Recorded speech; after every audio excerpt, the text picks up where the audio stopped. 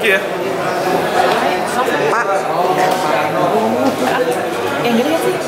perempuan, sepak Oh, bola masih. perempuan. Kan kemarin tanda tangan segala macam kan gitu. Pak, Pak, lagi ini mau. Ya, kalau untuk persepak bolaan perempuan gimana Pak? Ini apa nih video nih? Kita netizen. Ah, video, video. Video, video streaming aja. Sepak bolaan perempuan nanti program Kan PS. udah ketemu Bu Papat belum? Exco kita. Belum sih. sebenarnya Belum, paling pantas untuk ngomong. Tapi gitu. yang pasti untuk AFF ini di bulan Juli Thailand itu ada kejuaraan AFF senior dan kita sudah pastikan kita ikut. Kali ya Pak? Sih udah, tapi kan dalam periode yang terakhir-terakhir ini enggak. Nah, sekarang kita harus masuk kan. Dalam Biar wanitanya targetnya ke- Pak? Berapa kali ikut apa eh, pertandingan? Uh, untuk yang mana? Perempuan. Ya, yang resmi kan sekarang baru AFF uh, usia senior ya. Ya ke depannya kalau ada aktivitas lagi, kita belum mendetek ada aktivitas lagi di yang di 2017. daerah Pak untuk membangkitkan tadi mungkin eh, Kalau anak muda kan misalnya ada Ini 34. perempuan nih mas ya? Wah, soalnya banyak kan ngomongin lagi, baru Iya, satu nih iya. Kalau gitu. eh, kalau misalnya anak muda kan dicari 34 provinsi untuk mencari bakat. Kalau perempuan begitu juga nggak? Tadi kita udah presentasikan ya, kita bicara dengan exco kita satu-satunya Ibu Papat. Ini masih difinalisasi, tapi dari eh, yang kita bayangkan karena ini juga ya bianes kan tidak terlalu banyak ya klub wanita apalagi di seluruh provinsi tidak semua. Jadi nanti mungkin sifatnya kita turnamen atau invitasi di beberapa zona, mungkin di zona barat, timur, tengah.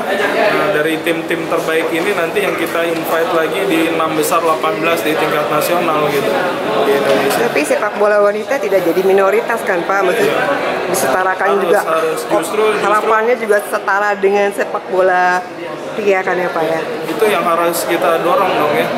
Karena di luar negeri sendiri eh, itu perkembangannya kalau di Eropa udahlah kita nggak usah ngomong setiap turnamen, setiap kejuaraan kalau ada laki yang ikut perempuan jumlahnya sama ya.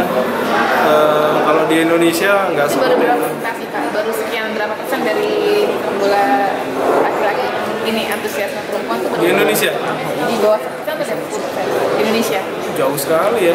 Kalau antusias sih banyak yang mau kan, tapi yang memfasilitasi klubnya, lapangannya, kompetisi perempuannya sangat sedikit ya, sangat sedikit.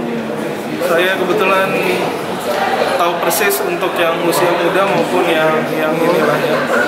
Ya, nggak banyak jauh dibanding kita ngeliat di turnamen Singapura, di Malaysia ada turnamen boys, girls ya yang usia dewasa juga Jadi wanitanya ada memfasilitasi ya. Sebenarnya antusiasme mungkin udah ada tapi belum ada yang memfasilitasi itu. Ya belum belum maksimal lah. Mungkin di sini ada perannya PSSI harus bantu untuk dorong juga untuk eh, memfasilitas dua itu ya kompetisi yang paling penting. Yang kedua menggairahkan untuk insan wanita untuk Ada target nggak Pak? Misalnya tahun ini sekian berapa persen gitu eh, terkumpul atau terdidik untuk kita kita terus terang saya belum sampai sini di community club eh, wanita itu itu dibicarakan dengan program-program yang jangka menengah yang akan kita tingkatkan jangka menengah itu hitungannya berapa tahun Pak? selama pengurusan lah ya, Oh. ya sampai pengurusan kita ya.